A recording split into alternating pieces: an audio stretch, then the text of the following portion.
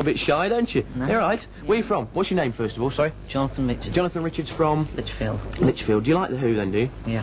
Well, the question was naming the, naming the Who's first ever hit single, which was I Can't Explain, in 1965. How did you know that? How old are you?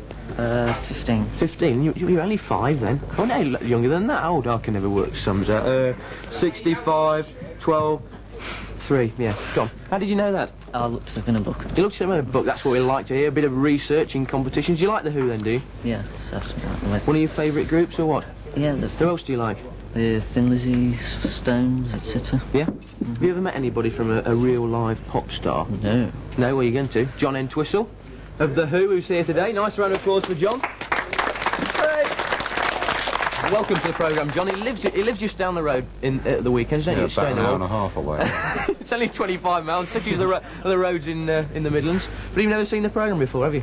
no. No. Well, well, can't win them all, can we? Here we go. Anyway, a Tiswas Who jacket to Jonathan. There we are. Super. Hope it fits you. I'm sure it will, because you sent your measurements in. Yes. Well done, mate. Congratulations. John, if we can have a, a quick chat with you, what, what are the Who doing at the moment? Very little, it seems. Uh, we're all busy uh, writing. Roger's finishing off a solo album. Yeah. Uh, Keith's in Los Angeles annoying Steve McQueen. He lives next door to Steve McQueen, isn't he? Yeah, Yeah. just about. I, I hear Mr. Steve McQueen doesn't get on too well with Keith Moon. Can you tell me about that? They built, uh, I think he built a 12 foot fence That was Steve around his McQueen. property. Yeah. What? To keep, to keep him out. But uh, unfortunately, he couldn't build it over the beach section. I see. And uh, Keith was wandering around in a Nazi uniform at some time. Annoying. You see, he has this strange quirk to do things like that, doesn't he? But um, you've got an al- album coming up soon, you say? Well, we're going in probably the end of March Yeah. to record it. Uh, we're still writing it at the moment, so Yeah. it might be April, May, June. Yeah.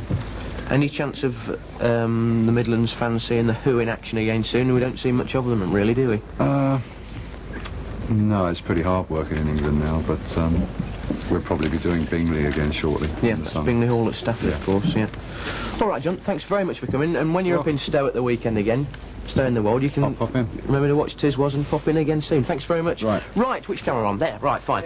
On now to the biggest top 30 climber this week. It's jumped 13 places from 22 to number 9, and dare I say it, it was a Tiswas, Tis Was tip for the top a few weeks ago.